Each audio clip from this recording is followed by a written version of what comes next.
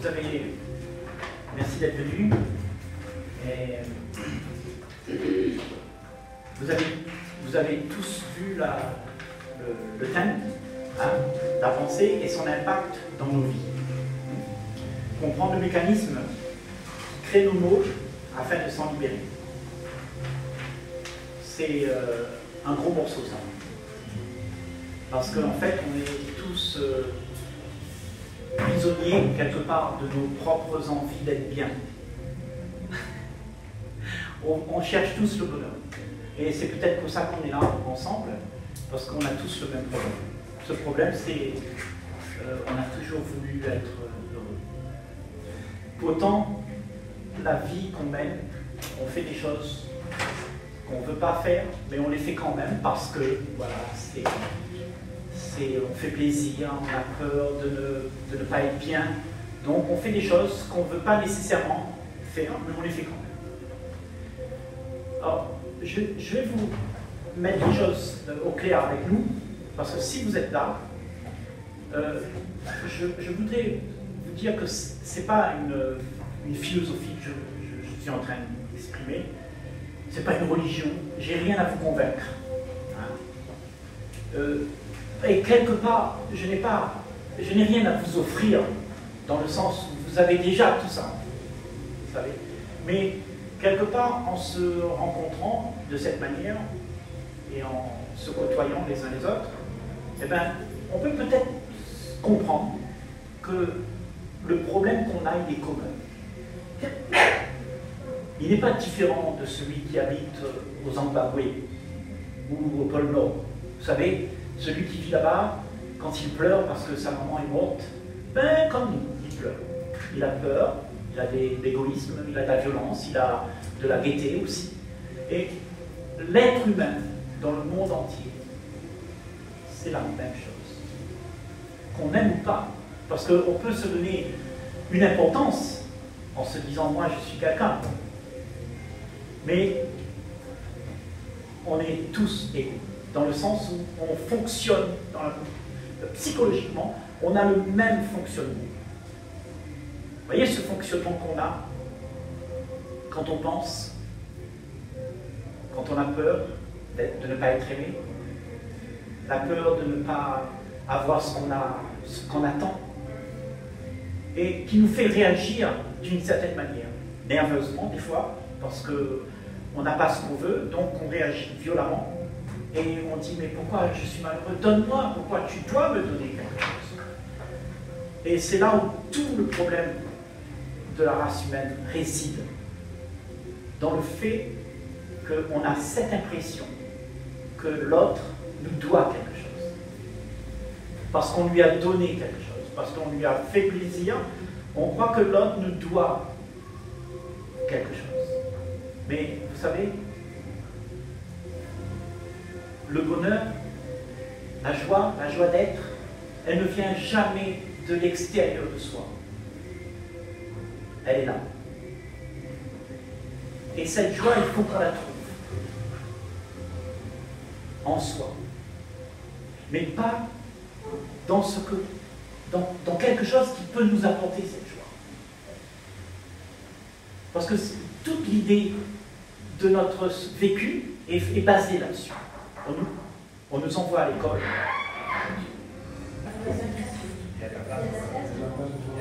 Voilà, venez là, venez là.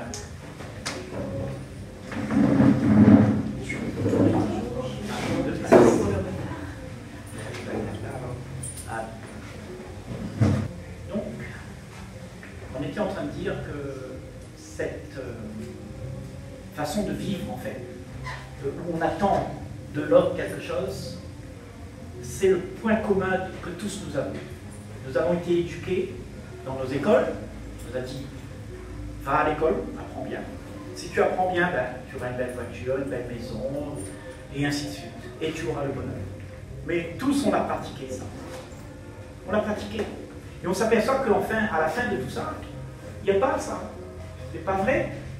C'est quelque chose qu'on s'est fait avoir. Et alors, on se retrouve un peu confus. On se demande, c'est quoi le bonheur? Parce que quand on a tout fait ça, Et il y en a même qui mettent le pied dans la tombe sans même savoir c'est quoi la vie, ce bonheur, cette joie d'être, cette envie d'être libre, de s'exprimer avec euh, gaieté. Mais il y a quelque chose qui nous en empêche. Je pense qu'on a tous remarqué ça. Ce sont nos peurs, nos peurs qui nous disent comment la vie devrait être et on obéit à nos peurs. Et on fait ce qu'on ne veut pas faire, mais on fait. Et, là, on a, tous euh, cette envie de, de se demander, mais c'est quoi, comment faire? C'est quoi la vie? Comment, comment être bien? Comment s'en sortir? Eh bien, vous savez, toute cette façon de trouver comment faire, comment s'en sortir, euh, on va faire un truc là, aujourd'hui. On va oublier. On va pas se demander comment faire, comment faire pour être heureux. Parce que toute cette activité de se dire comment faire, comment y arriver, comment, c'est une quête sans fin, où il n'y aura rien, il n'y aura rien au bout. Au bout, il y aura, en fait, ce qu'on va trouver au bout de tout ça, c'est nos propres désirs. On va rencontrer nos désirs d'être heureux. Donc on poursuit, on poursuit, et on devient dépendant de ce qu'on fait. Dépendant de notre désir. Et quand on est dépendant d'un désir, ben, on est déçu aussi parce que notre désir ne peut pas nous donner ce qui existe. Le désir, c'est quelque chose qu'on fabrique, répète, hein, et après on va poursuivre le gain, le gain du désir. Et donc, ça va Vous n'avez pas, vous pas trop chaud Ça va? Ça ira? Ça ira? Non, euh, ne déshabillez pas quand même. en fait, euh, vous voyez, euh, cette envie d'être libre a toujours été le problème de l'être humain.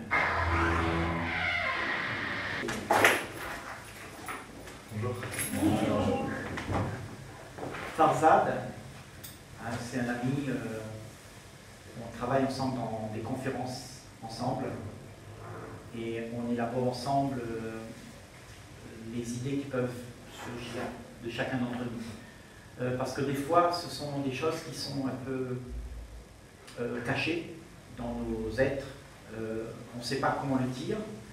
On va essayer de, de penser fort comme ça, on, sait ce qu'on pense. Parce que vous savez, tout ce qu'on va dire là, c'est quelque chose que quand vous entendrez, euh, vous, aurez l'impression que vous entendez vous-même, en fait. Parce que se connaître, c'est la chose la plus primordiale. Si on, ne se connaît pas, eh bien, il y a il y a certainement euh, une ignorance. Et cette ignorance ne nous, nous, donne pas la, faculté d'être vrai, d'être ce qu'on est capable de, de, faire. Notre action, elle est limitée. Notre action, elle n'est pas sincère, pure. Voilà. Et alors, donc, on était en train de dire, Farzad, qu'aujourd'hui, euh, on va euh, élaborer cette foi, euh, pourquoi nos pensées euh, agissent de cette sorte et pourquoi nous, faisons des choses qu'on ne veut pas, mais on fait quand même. Hmm. Tu vois? Et on est en train de dire aussi que, enfin, on va dire, qu'est-ce que la pensée en fait? C'est quoi Qu'est-ce que c'est la pensée? Je pense que chacun d'entre nous sait c'est quoi penser on, pense tous. On a une pensée dans sa, tête. Hein. Et ces pensées passent du coq à l'âne, sans même qu'on en soit conscient. Donc, à mon avis, il est très important de pouvoir cerner et comprendre, pour pouvoir aller plus loin dans notre discussion, pourquoi, c'est quoi ce phénomène qui agite, qui agite notre, notre psyché, la pensée et d'où elle vient. Hmm. Elle vient certainement de nos mémoires passées euh, que nos aïeux nous ont léguées. Vous voyez Toute l'histoire de la race humaine, c'est justement euh, tout ce qui nous a été donné, tout ce qu'on a, on nous a dit comment les choses devraient être. Nos aïeux, ils ont fait des expériences, et ils ont dit que ça, ça c'est bien, mais ça c'est pas bien. Donc on, a, de génération en génération, on a dit à nos enfants comment la vie devrait être. Mais la vie qu'il y a, à ce moment-là, quand on a l'idée de la vie qui devrait être, on n'est pas en train de la vivre. On n'a que l'idée. Et c'est ça notre problème. C'est que nous vivons sur des idées de ce qu'on aimerait. Et la vie devient euh, un désir que j'aimerais avoir. Si je gagne l'auto, je serai heureux. Si je rencontre cet homme, je serai heureux. Pardon Attends, tu joues à l'auto. Exactement, exactement. Donc, on est, toujours, on est toujours dans l'attente. Hein.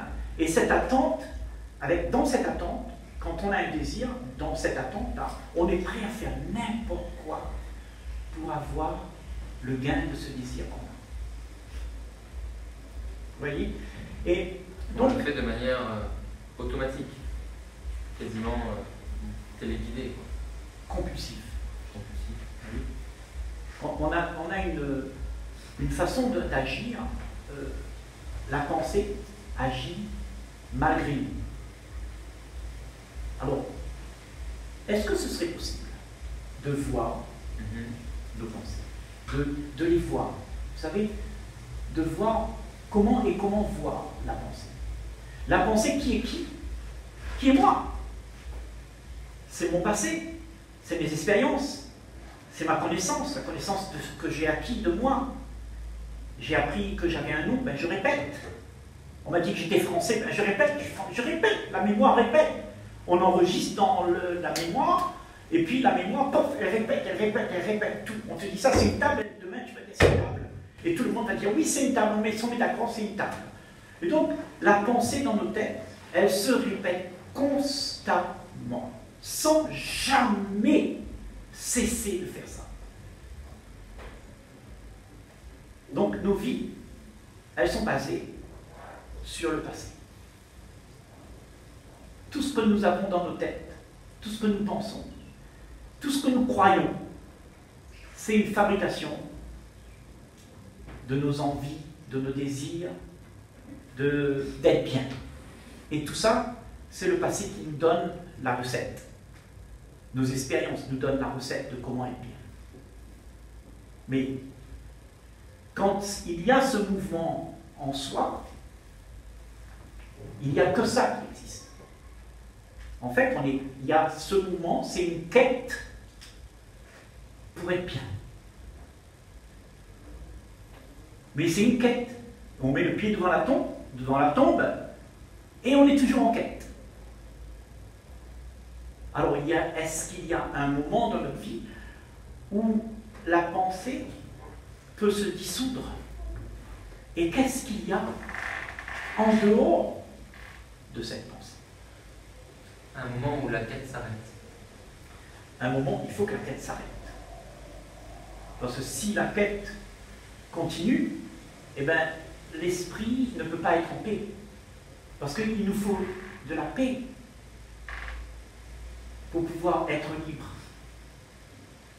Nos esprits ne peuvent pas être libres s'il y a des conflits entre elle et moi, entre lui et vous, entre le français, le maghrébin, tout ça. S'il y a des demandes, s'il y a des attentes, s'il y a des promesses qu'on se fait à soi, qu'on fait aux autres, qu'on nous a fait. Voilà. L'esprit ne peut pas être libre. Non, parce qu'il sera dans l'attente. Hein, on sera tous dans l'attente que quelque chose arrivera et qu'on aimerait avoir. Parce que vous savez que nos vies, avec ce qu'on pense, parce que la pensée, c'est, comme je vous ai dit, c'est une mémoire qui se répète, répète, répète, répète, répète, répète. Hein? On répète tous pareil la même chose. J'ai pris la, confiture un matin et j'ai trouvé que c'était bon, ben demain matin je reviens encore. J'ai rencontré cette demoiselle là-bas, elle m'a fait un grand sourire, ben demain matin j'aimerais bien la revoir. Jamais nous vivons l'instant présent. Nous voulons racoler toutes les choses que nous faisons pour les emmener avec nous demain, parce que nous sommes vides, on n'a rien, donc on cherche des choses pour nous réconforter. Et c'est en cherchant toutes ces choses qui nous réconfortent que toute la bataille de l'être humain se fait. Parce qu'on n'est pas libre, on est dans l'attente, on est dans l'envie. Et quand quelqu'un qui est désespéré pour quelque chose qu'il n'a pas, vous savez, ce genre de personne, il, est incapable d'aimer. Vous savez, quand on a des problèmes de tracasserie, si vous avez des tracasseries, si vous avez du stress, si vous avez quelque chose, quelqu'un qui vous embête, ben, vous êtes incapable d'aimer. Et toute l'idée est là que notre civilisation aujourd'hui est dans le désarroi parce que de plus en plus, on regarde, le monde devient de plus en plus euh, euh, méfiant, on se méfie. Et de, plus en plus, il y a de moins en moins d'amour, il y a de moins en moins de contact. En tout cas, on a peut-être plus de contacts virtuels hein, avec nos Facebook et tout ça, mais en fait, on n'a pas de contact direct. Vous savez, parce qu'on est prisonnier dans une petite bulle qu'on a fabriquée, que nos pensées nous ont donné une zone de confort qui s'appelle ma petite bulle. Et dans cette petite bulle, il y a moi, avec mon argent, ma voiture, ma famille, mes affaires, mon pays. Et tout le reste, mais attention, je me méfie, oh là là, c'est pas, lui c'est l'étranger là. Donc on n'arrive plus à, se, à, se, à rentrer en contact. Vous voyez? La relation n'existe plus. La relation existe, mais c'est une relation qui est basée sur l'image que l'autre projette. C'est-à-dire ce que j'attends de l'autre, ce qu'il y a derrière elle. Voilà. Pas la personne elle-même. Voilà. On regarde ce que la personne est par rapport à ce qu'elle aimait. Moi, je, mets un petit crocodile là, et eh bien tout le monde m'aime parce que je suis quelqu'un de bien, et puis euh, j'ai un peu d'argent, donc euh, ça fait envie à tout le monde. Hein. Et donc euh, voilà, c'est notre rapport avec l'autre. Hein. L'autre, le, bel homme que j'ai rencontré, ben, il a des tablettes de chocolat, il va me faire plaisir, je, ah, suis merveilleusement heureuse. Mais, mais vous savez, on, on, aime bien ces histoires de contes de fées. Mais au bout d'un moment, on sait tous pertinemment que c'est faux. On se raconte des histoires. Et peut-être que ces histoires, on a peur de les lâcher. Parce qu'on se dit, si j'ai pas tout ça, qu'est-ce que je serai? Qu'est-ce que je deviendrai? Vous voyez? On a une partie. On pas hein On a nu et on ne peut pas venir. Certes, certes.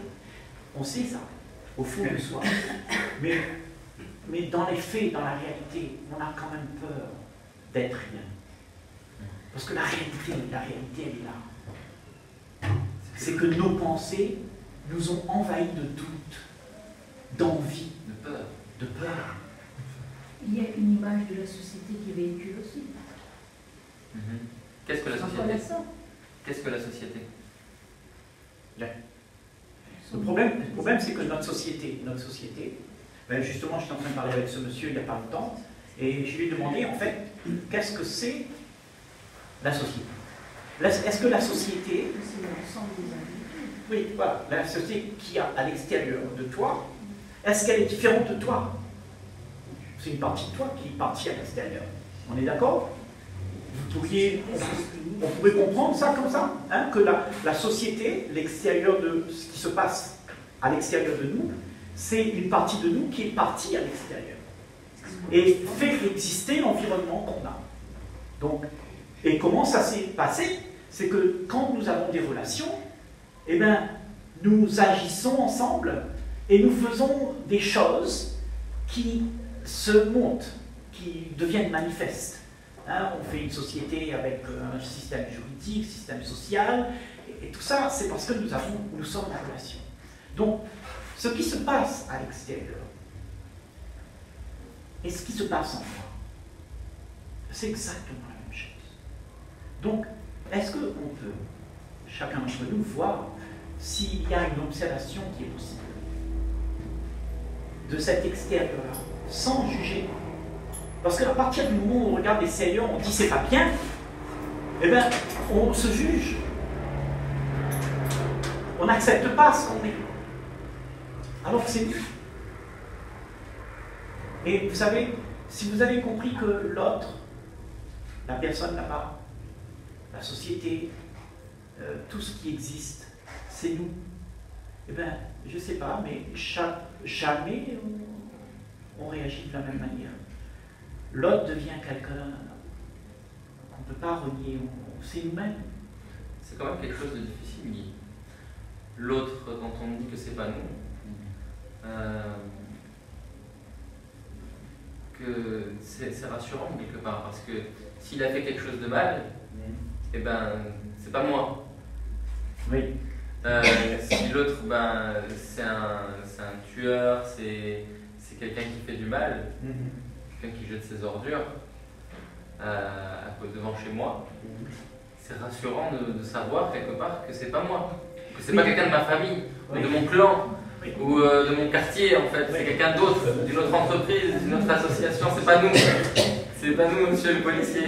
Oui, le problème, avec ça, le problème avec ça, c'est que chacun d'entre nous, on a pris l'habitude de penser comme ça. Parce que ça, c'est le mouvement de la pensée qui explique comment les choses devraient être.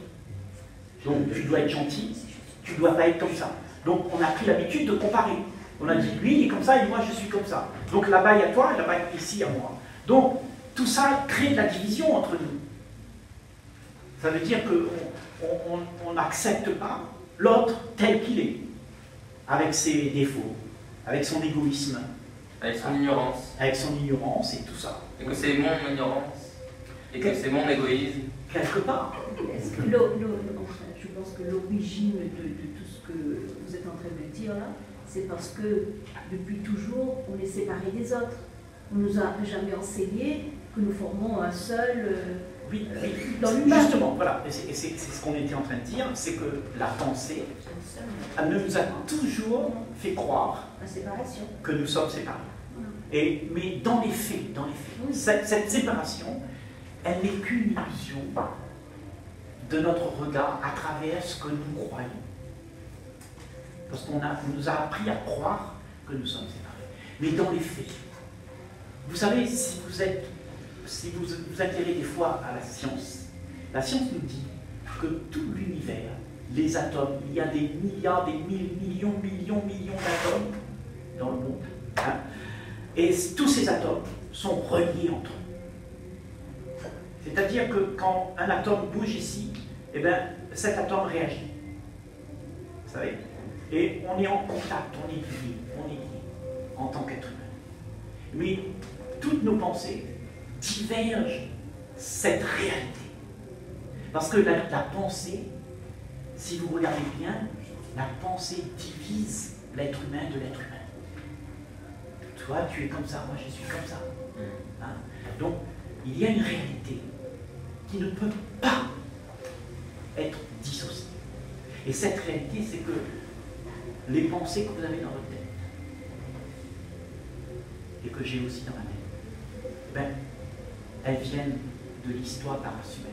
Ce que tout le monde est ici, nous sommes le résultat d'une race humaine qui a vécu à travers les âges depuis des millions d'années. Donc quelque part, nous sommes vieux de millions d'années, nos ADN. Et au fil du temps, nous avons, parce que ce que nous voyons avec nos yeux, c'est la chose la plus facile. Mais ce que nous ne voyons pas avec nos yeux, on spécule. Et on en a peur. Et la peur nous a fait nous séparer les uns des autres. Mais cette séparation, évidemment, évidemment, cette séparation nous cause un gros problème dans nos sociétés. Parce que, avec cette séparation, on a inventé moi. Et je dis bien inventé. Moi, c'est une réalité, certes, mais en fait, en même temps, elle est une illusion. Parce qu'on se raconte des histoires. Cette entité-là, elle est montée comme un château de cartes. Et on s'y attache. Et comme on s'y attache, eh bien, il y a une déception. Parce que quand on arrive à tout faire pour la garder en place, on met une jolie petite image de moi, là, avec des crocodiles et tout ça. Je suis quelqu'un aujourd'hui et quelqu'un vient me détruire. Je suis blessé. Qu'est-ce qui est blessé? C'est l'image. C'est moi. L'image. L'image qui représente moi. Hein? C'est la psyché. L'ego. Oui. Exact. Oui. Voilà. Hein? Donc cet ego-là, elle ne peut que subir ce que la vie est. Donc elle a l'habitude de subir, elle a l'habitude de souffrir, et ça s'appelle le combat de la vie. Et c'est et tous, c'est ce qu'on fait, on combat. On combat cette, cette chose-là qui, qui voudrait nous emporter. On combat l'existence même. Oui. Exactement. Right.